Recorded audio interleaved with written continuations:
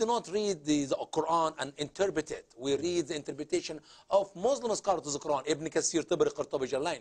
And my advice to the Muslim outside there, when you read the passage of the Bible, Old Testament or New Testament, read the Bible and read the commentary of the Bible, the Christian and the Jew, so you'd get to the true picture of what the Bible is talking about.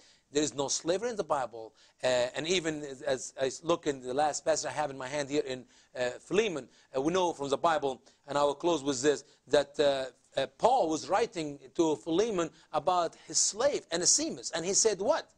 Take him as a brother. He's going to work for you as a brother. I want to keep him with me. I want to keep Onesimus to help me. He is my son. He, I, I pursed him in my chain, but he will come to know. He's good for you, he's good for me.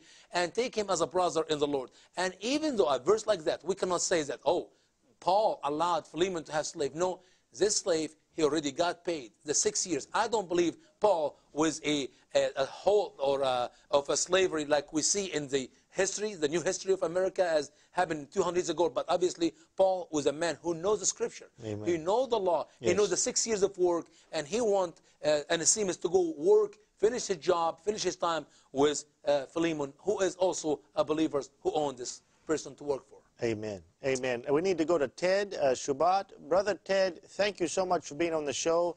You have uh, two minutes if you would like now to just summarize. I know you won't be with us later tonight or tomorrow. We're going to continue this subject. But what do you want our viewers to hear ultimately concerning this subject of slavery in Islam and accused to be in Christianity? And, and what's the bottom line here?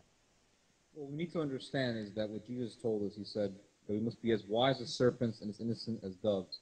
And my point is that we need to read about the other isms, the other philosophies, the other ideologies, to understand that Islam is not the only um, pagan ideology out there, and that we, and the world, has dealt with many other isms out there. We've dealt with Nazism, communism, um, the French Revolution, socialism, uh, the Vikings. All these things the world has already dealt with, and they are they are all very similar to Islamicism.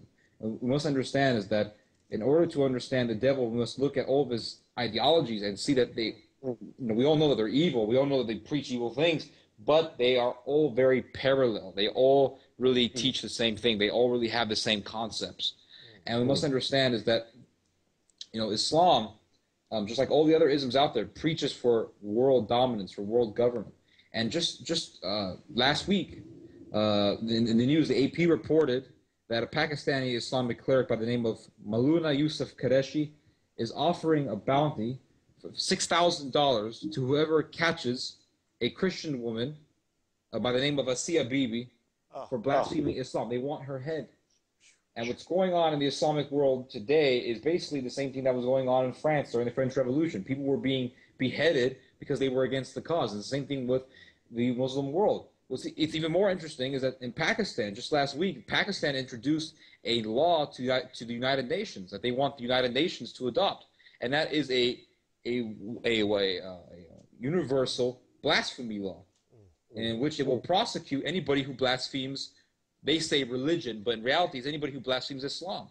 It's mm. Pakistan that's doing this. Why? Because they want everybody to collectively follow the same laws, and that's not what God preaches in the in the Old Testament it talks about Shinar when everybody was united, everybody had the same language, everybody was one tribe. But God scattered those people and made different tribes. He made nationalism, He made individualism, He made individuality.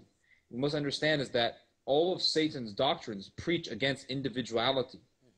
And only in, individual freedom is only really found under Christ's uh, uh, law, under Christ's word. Amen. Amen, Ted. Ted. Hey, Ted, we're going to stop right there. I'm sorry to cut you off, but that's a strong place to stop. That is only found under Christ. And as you pointed out, you know what Jesus says, you'll know the truth in John chapter 8, verse 32, and the truth will set you free. And if the Son sets you free, you'll be free indeed. Amen. Brother Ted, thank you so much for being on the show. I hope to do more shows with you in the future. You got a lot to share. God has gifted you. You're a young man, and uh, my goodness, just wait another 20 years. He, will be. Uh, Maybe you'll get on MSNBC. You'll straighten those folks out with God's help. Thank you, Brother Osama. Thank you. We'll, we'll be back together at 11 p.m. By to God's continue will. this presentation. Amen. And we'll be starting to move into Islam and slavery before the end of the night, right? I don't know.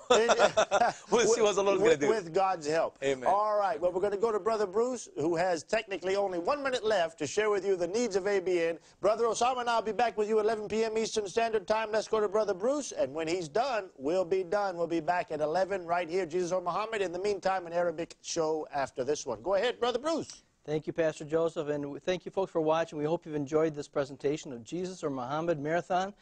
I want to share you just a little history. ABN started over 20 years ago with a, a vision to uh, spread the gospel to all the Chaldean uh, people of the world.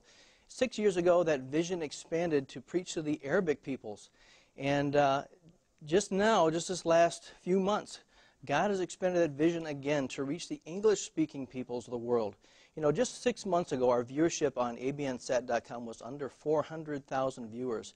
And today it is over 2 million viewers. Folks, we are on the end of a great explosion. We invite you to be a part of that. I want to pray with you and uh, just, I believe the Bible, what it says give and it shall be given unto you, good measure, pressed down, shaken together, and running over. Whatever measure you give, it shall be given back to you. We thank you for watching. We pray for your uh, support. You can write us, call us uh, at 248 416 1300, and we desperately need your help. Thank you so much for watching. Good night.